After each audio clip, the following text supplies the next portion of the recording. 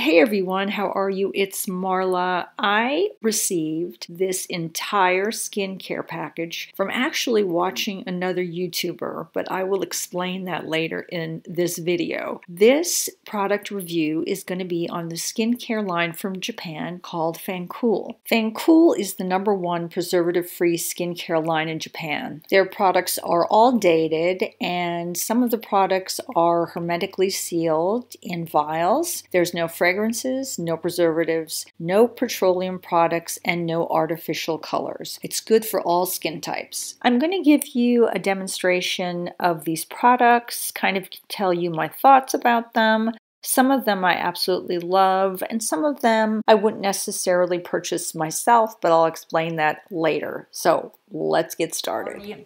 Hey everyone, how are you doing? It's Marla. I think you know that already. I already kind of gave a description of the products from this Japanese skincare company called, I believe, FANCL. I think that's how you pronounce it. How did I come upon getting these products? Well, they were not sent to me via PR. They were not sent to me to do a review on on my YouTube channel. What happened was I happened to be watching one of my quirky favorite YouTubers. Her name is Monique. I will list her review of these products in my description box below. She had on her channel at the time, or it was a couple videos after that, she had a link to this company that was for them to kind of do informational surveys with people. And if you fit into the group that they wanted to send products out to, you would receive the products. So I happened to fill out the survey. I think the questions that they ask in the survey were things like, I mean, you have wrinkles, what kind of creams do you use? They have no idea that they sent this to someone that does YouTube videos. So I'm not considering this really PR or anything like that because it was not sent to me in exchange for any kind of review or anything like that. So I was lucky enough to be sent this whole line of products and I got their mild cleansing oil, which is something that I really like and I'll demonstrate how it takes off all my makeup.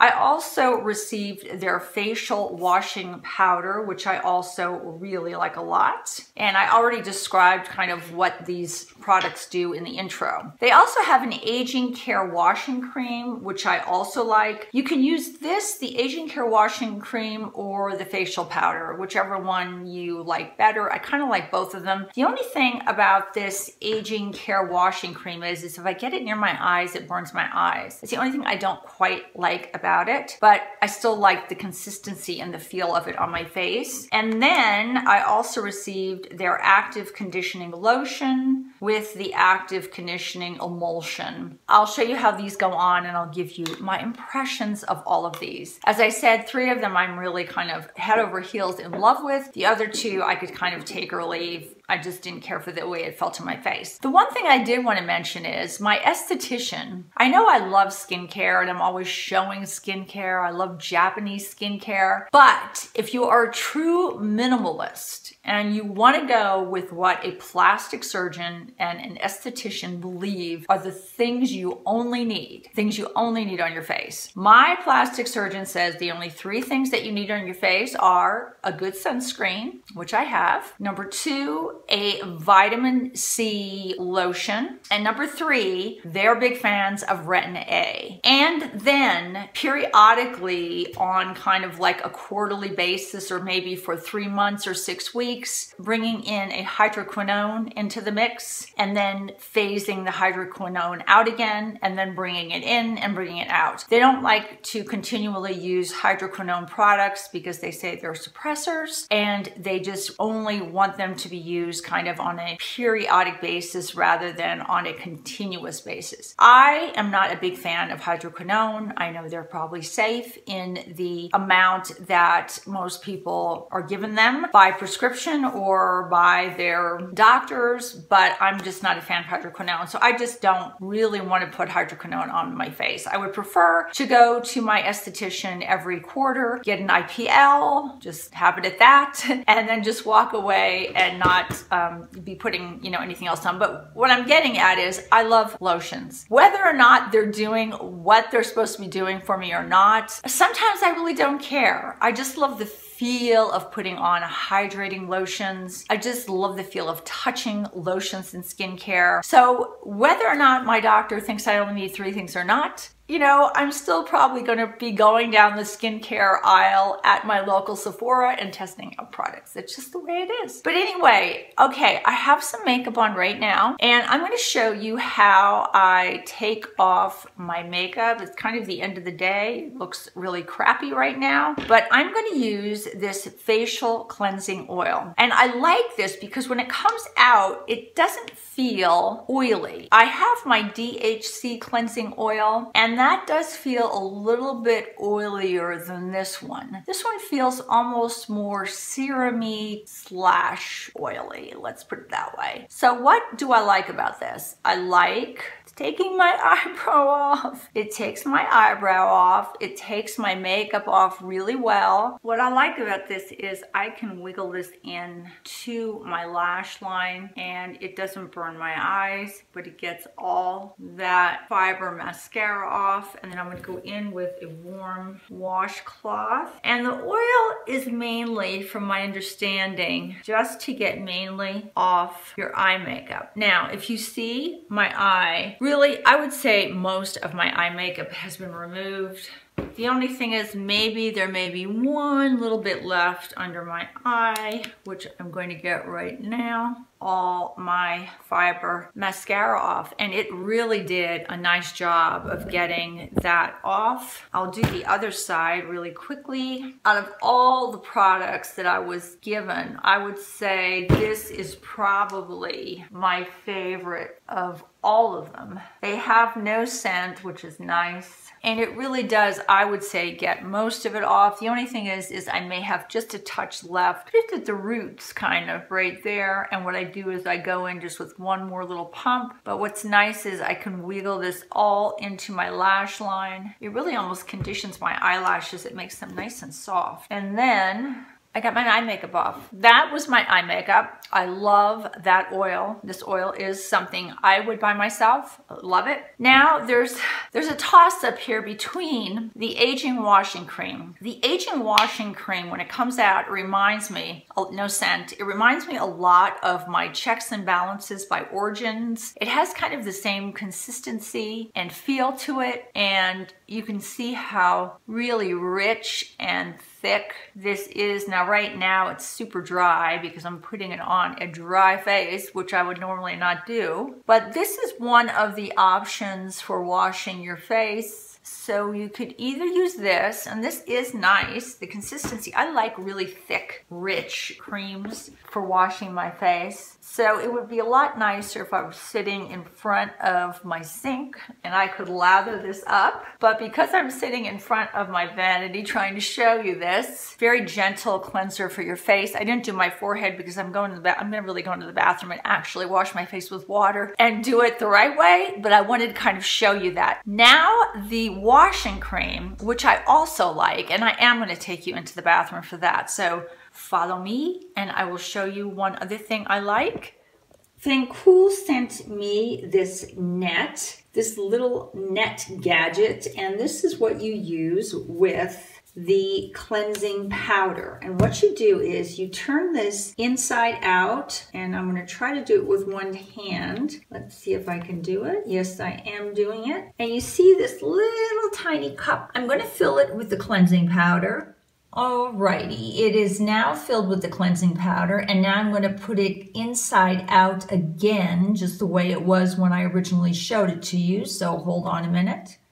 Okay, the cleansing powder is in that little cup at the base there and I'm going to turn on my sink and I'm going to get this netting wet and then I'm just going to start and it's hard to do with one hand, but I'm going to start mixing this around and trying to lather it up. And you will build up a lather.